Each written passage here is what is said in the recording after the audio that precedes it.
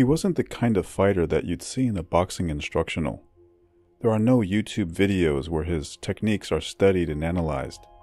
It was said that his feet were slower than molasses in January, and his looping arm punches were telegraphed from miles away. But he always gave his opponents the same warning, saying, I may not be the most stylish guy out there, but I know what is effective. I can guarantee you one thing I'm going to bust your ribs with my left hook, and there isn't a damn thing you can do about it because now you're coming in the ring with.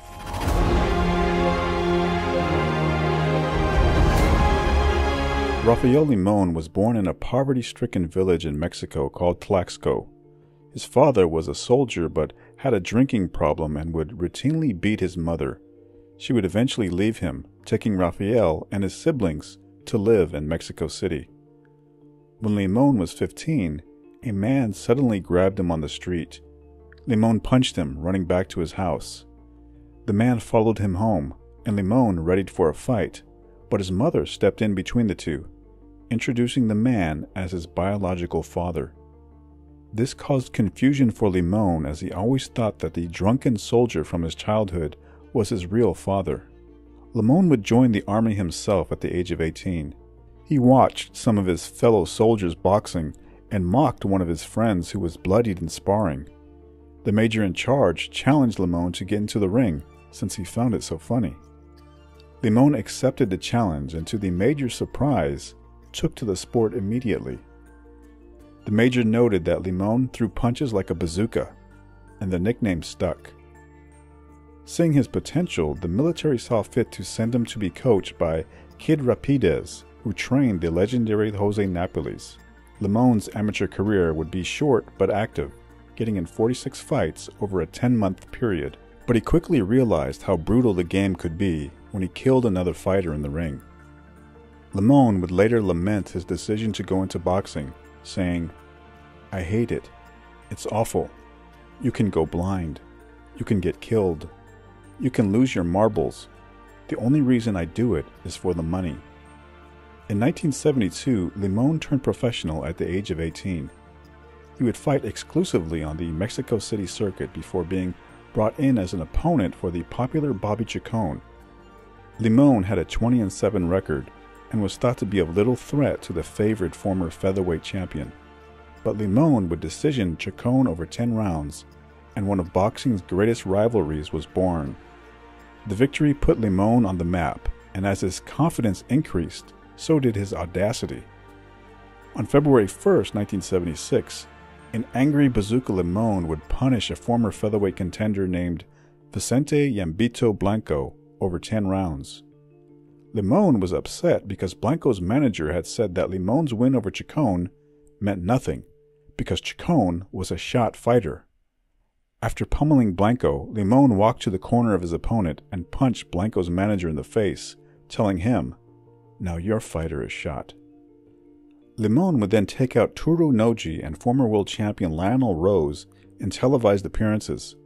He would go on the longest win streak of his career, taking out one club fighter after another until a second match with Chacon would end in a technical draw. Three months later, Limon would challenge Alexis Arguello for the WBC super featherweight title. Limon would show the classy Arguello no respect. He insulted the Nicaraguan's heritage before the match, and during the fight itself, he attempted low blows and headbutts to get Arguello off his game. But it was Limon who started to bleed from the first round on. Arguello teed off on him with his best power shots, but Limon never went down, refusing to give up until the fight was finally stopped in the 11th. Taking a page out of Jake LaMotta's book when he fought Sugar Ray Robinson, Limon would taunt Arguello, reminding him that he couldn't knock him down. Limon offered an alibi after the fight, saying, I met a nice Filipino girl and I didn't train right. I don't want to make excuses, but I was addressing other business instead of training. Five months later, Limon would face arch rival Bobby Chacon again. Limon would give Chacon the beatdown for most of the 10 rounds, but lose a disputed decision. He would win in losing, however, as he was then matched against Idelfonso Bethelmy for the now vacant WBC super featherweight title. Limon would win the title, but state that he didn't feel like a legitimate champion because the real champion, in Alexis Arguello, had moved up in weight. Limon's reign as champion would be short lived as he would face Cornelius Boza Edwards in March of 1981. Edwards was a fighter based out of Great Britain, and Limon would make classless remarks to get under his opponent's skin. This time he referred to the Lupe Pintor Johnny Owen ring tragedy when the challenger from Wales died after getting a beating from the Mexican champion. Limon promised to do the same to Edwards because, in his words, that's what happens when Mexicans fight the British. But Edwards would go mano a mano with Limon and accomplish the unthinkable, flooring him in the fifth round and taking a hard fought decision.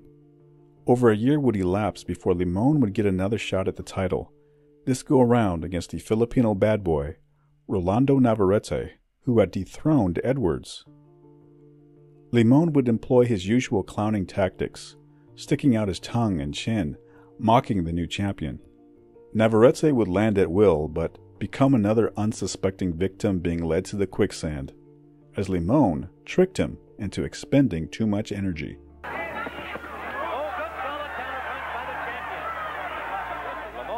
been too kindly in his comments about Navarrete. Calls him a second-class champion. Under a minute to go. Round two. Toe-to-toe in the middle of the ring with body. Left uppercut scored by Navarrete, and again looking back at him. To stick your tongue out with a mouthpiece. Tim, I wouldn't want to see him get hit when he's sticking his tongue out, I'll tell you that.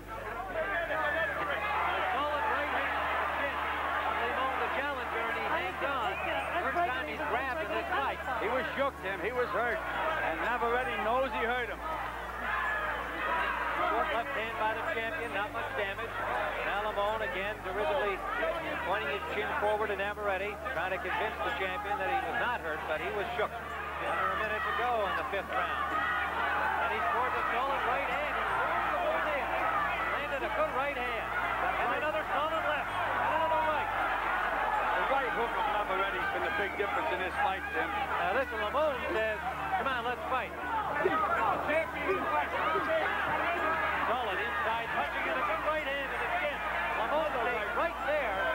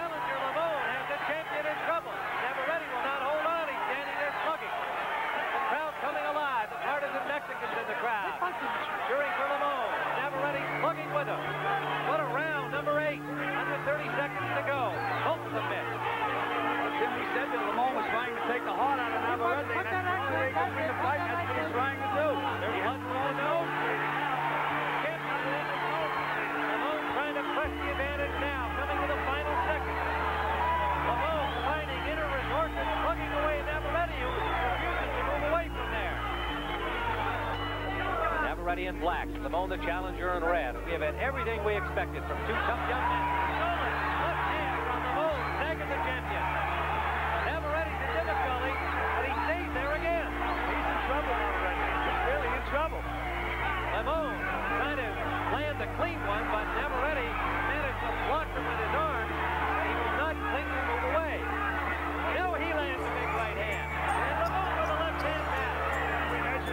Earlier has the chin. He has the better chin than Navarrete. Navarrete's the better puncher.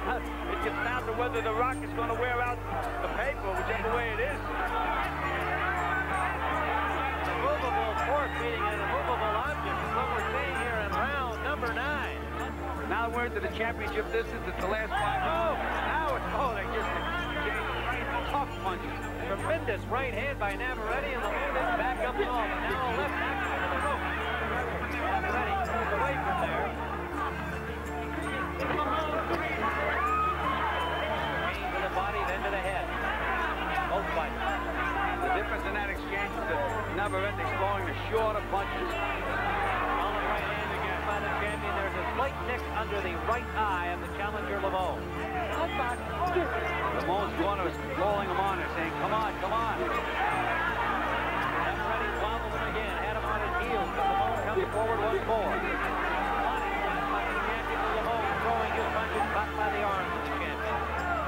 Under a minute to go, down 12, and again Navarrete straightening up Limon. Combination. Mouth of Limon open now. Obviously, first time of that kind of fatigue. Having difficulty breathing now, moving that mouthpiece around. Those short punches, this thing is like, it's like going into a threshing machine. And Navarrete's really scoring with those short, snappy punches. Under 30 seconds to go in the 12th round.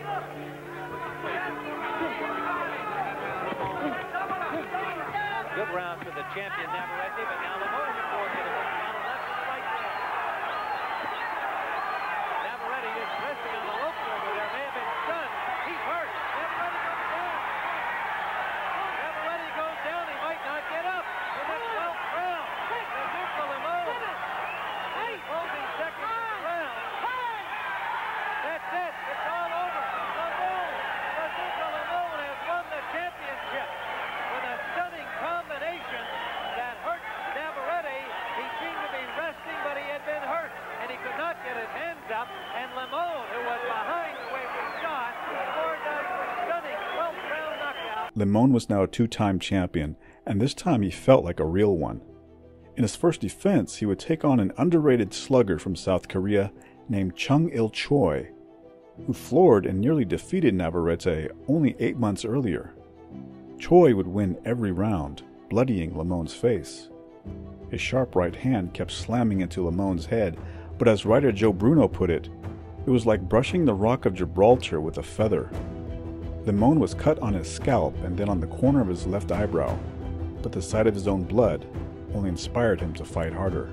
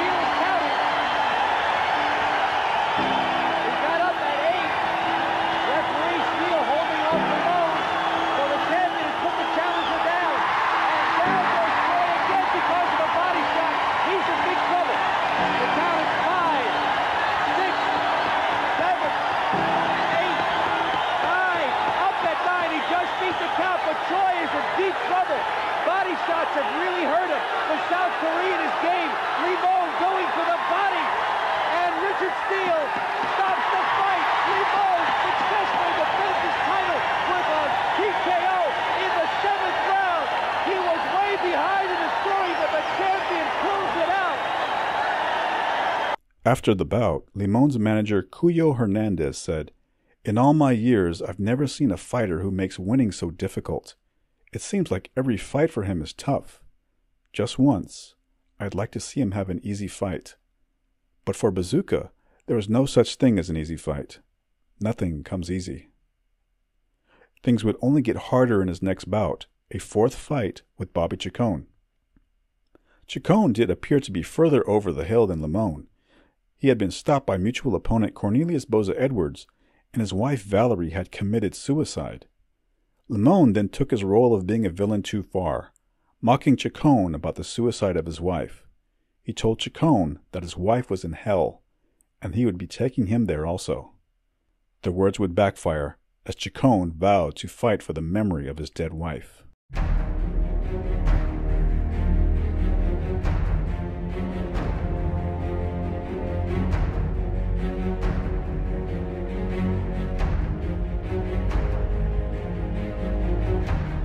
Slowly.